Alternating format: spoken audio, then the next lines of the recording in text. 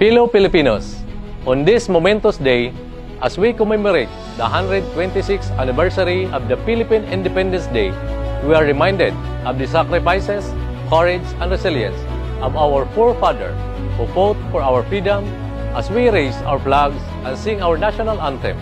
Huwag nating kalimutan ang mga bayaning lumaban para sa kalayaan ng ating bayan. And the ordinary citizens who contribute each day to make a better place for all. This is your City Mayor saying, Happy Independence Day to all Filipinos. Mabuhay ang bagong Pilipinas, mabuhay ang sambayanang Pilipino.